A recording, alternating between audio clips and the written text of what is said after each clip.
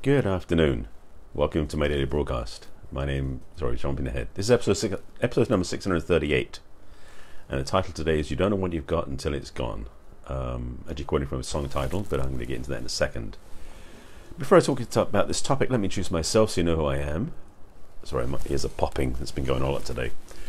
Um, of course, you wouldn't know what that is. That sounds like to you because you're not in my head. my, my, name is Barry Selby. I'm a best-selling author, inspirational speaker, and life and love attraction expert. I help strong and uh, average. Sorry, excuse me, boy. Let me rewind a bit. I'm, I'm noticing myself being a little bit out of whack, and I know what's going on. So let me start over a bit. Hi, my name is Barry Selby. I'm a best-selling author, inspirational speaker, and love attraction expert. Actually, relationship attraction expert and help women create balance in love, life, and business. I'm also a passionate champion for the divine feminine, which is why I do what I do, and also what inspired these talks over two years ago called Messages from the Masculine Inspiring Your Feminine Heart. And today we're at topic number 638, or, or episode 638.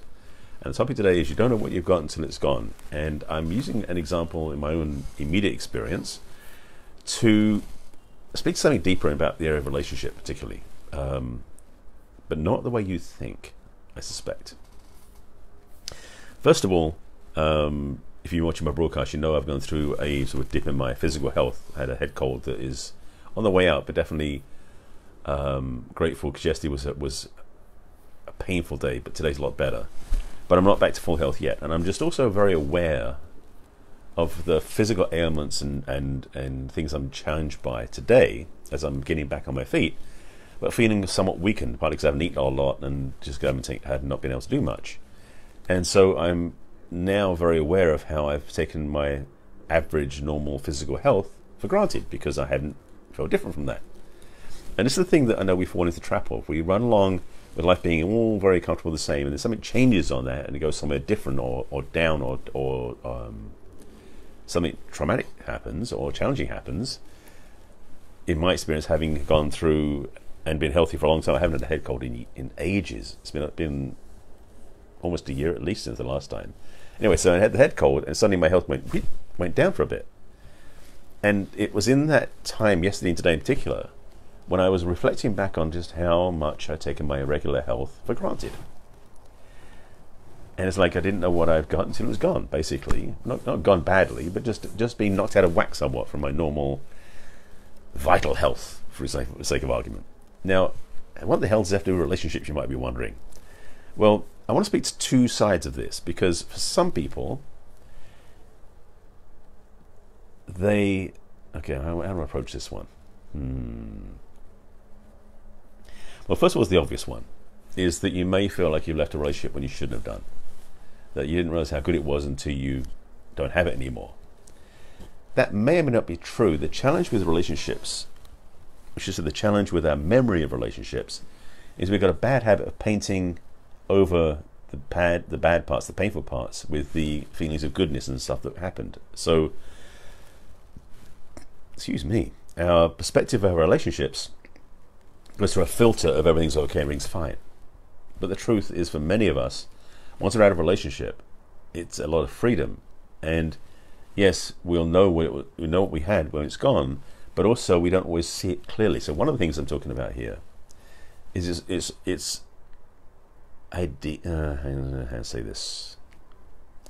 It is something that is particularly important that we see reality clearly, meaning that when we look back at our past relationships, which may have ended badly, and particularly if we got screwed over in a relationship, and that means as we lost out, we were broken up with, we were dumped. We might think, oh, that relationship was so wonderful. Why did I get dumped?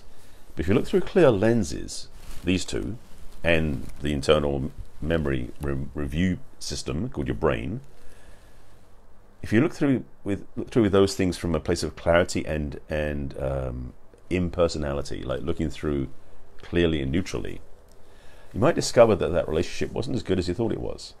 That it wasn't as pretty, perfect, smooth, simple, elegant, wonderful as you thought it was. There may have been glimpses of that, but it might have been a lot more traumatic than you realize when you look back on it because you've been putting all the rose tinted decorations around it to make it look good. If that's the case, being single is a good thing. Now, and I want to speak to the other side first and I'll go deeper into both of these. for some people, being in a relationship is a default situation. Different people, back, back, back, back to back to back to back, but in relationship with different people all the time, because being single is something that they don't want to be. But the thing is, for a lot of people, being in a relationship, it's almost an addiction, and it comes from a place of being afraid to be comfortable with themselves.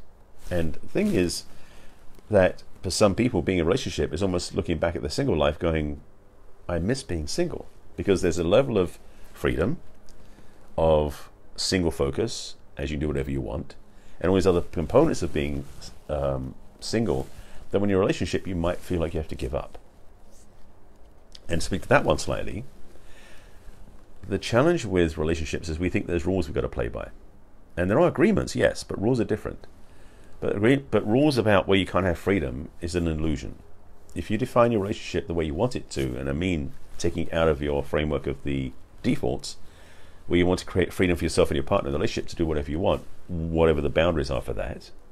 And I did talk about monogamy and polyamory a while back, uh, last week, so uh, no, early this week. So I'm not saying that's separate, that's something on the table. I'm talking about though they have the freedom to go away for the weekend, to go camping, or you know, or the freedom to um, have a girls girls night with a girls day at the spa. For a lot of people in a relationship, they don't think they can have those things because they've got to be so focused on their partnership. But the truth is that if you really are honoring who you are and honoring yourself, you will choose things that honor you and make you a better partner. So, what I'm saying from both perspectives is that we don't always see things clearly, and we don't always ask questions that can help us see more clearly. Because the other part, also in relationship, is that we think our partner, we think things about our partner, or think what we think what our partner's views are, without actually asking and finding out. And that's a dance that we don't need to play. There's an opportunity to really discover and explore what you want in a relationship when you ask your partner and share with your partner what you want. When you ask your partner what they want and what you want to create together. So when you're in a relationship, you have a relationship that's additive to the two of you. The thing about relationship in my book, not just my own physical book, but in my internal value system, is relationships. Actually, it is in my physical book. Yes, my physical book, by the way, is 50 Ways to Love Your Lover. I'll put the link in the comments. Now, I didn't plan to do a plug, but got a plug anyway. But being in a relationship with somebody is a great chance to expand, explore who you are. Because a relationship is greater than the sum of the parts. The two of you together create and explore something bigger than the two of you individually. That's the power of relationship.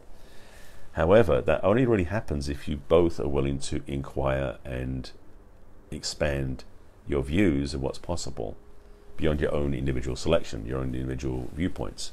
And that's when you start seeing there's a different way of being in a relationship that's much more um, collaborative and, and joyful, in simple terms. So going to tie that back in together. I went off, I went off a tangent then. Let's go back to where I was talking about before that fits. So so being in a relationship, honoring who you are, honoring your own choices, and honoring your partner's choices is a powerful place to expand your relationship beyond what it's comfortable with. Because the thing is, the rules we've been playing under for a lot of people, for a lot of people over the years, is relationship is a very confining space. And when we're in a relationship, we make assumptions about ourselves, assumptions about our partners, and don't believe we can expand beyond that to have what we really want. And that, unfortunately, is a um, it's an illusion. It's false. It's not true. The truth of what's possible, the power of what you can have, is so much bigger than what you believe. And when you start seeing what's open, what possibilities open to, what you're open to, say try one again, is a really profound, powerful way of being. And for me to to speak to this from point of view of ownership, I know that I've created a life for myself that is totally um, focused around what I do and where I go. So anybody I'm going to date and I've become clear about this, any any woman I want to date has to either fit into that, work with it, and certainly understand it, or there's no way to be together. That simple. The the truth for me so clearly is that we, especially when we're doing work that we value and what we're about, is so powerful, so profound, so important that if we meet somebody and want to be in a relationship, we can't give one up for the other. It cannot work that way. And it's actually a lesson I learned a long time ago, and it's become clear for me over the years. So for me, what I'm really clear about is what I'm about in my life can only work with a relationship that complements that. That was an interesting place to get to. Okay. Um, I think that's it, actually. I want to get something out, and I guess that was the delivery. So my my point, uh, my my sum to summarize, to bring it down to a, a hone it to a um, um, conclusion. Sometimes we don't know how good it is when we're in the moment, whether you're single or in a relationship. And it's important sometimes to value what we have and who we are. Let me rephrase that. It's not sometimes, it's always. To, to value who we are and what we have. Because if we forget that, we may, may discover too late how good it's been. So get present to your own life, get present to what's going on in your life, whether you're in a relationship or you're single, and start to make a list, if you wish, of what it is that you value about your life, in partnership or single. That what you really appreciate and value, what you have, what you're creating, what you're about, all these different things. Now, you might discover, as I mentioned at the beginning, that you might be realizing you gave some things up to be in that place, in which case that's going to come out and you'll figure that out for yourself. Alternatively, what you might discover is a lot more value in who you are and what you're about. And that's a good thing because it starts to raise your own standards and creates more value in your life. And ultimately, that for me is a powerful place to move from and where you want to go toward is creating more value in your life and being more valuable as a person in your life. I hope this made some sense. This was an interesting circuitous path that I was going through, but I had to talk about it. And as much as I'm feeling past the midpoint of this this head cold, I'm definitely feeling a bit knocked sideways. So I think my talks have been a little bit wonky the last couple of days. So it's been of help. Um, couple of quick things because I'm going to wrap up and get off this now because it's funny I've not focused this much in in a couple of days because so it's interesting to sort of put myself into a place of focus and that's an interesting place too. I appreciate you being with me and thanks for watching. Um, replays, if you haven't seen my broadcast before, I do this every day at 5 p.m. Pacific time on my personal page on Facebook, which is facebook.com forward slash Barry Selby. I then put them onto replays onto my business page on Facebook, which is facebook.com forward slash Barry Selby.author. Um, also onto my YouTube channel, which is also called Barry Selby. You can subscribe to my YouTube channel. There's a playlist in there called Messages from the Masculine, where all of these live. And on iTunes, I have a podcast called Messages from the Masculine. You can subscribe to that and also download the audios. If you have any questions, comments about this broadcast, please put them below. And if it made any sense to you, I'd appreciate letting me know that too, because I wasn't sure myself. And um, I trust I'll be a bit clearer tomorrow.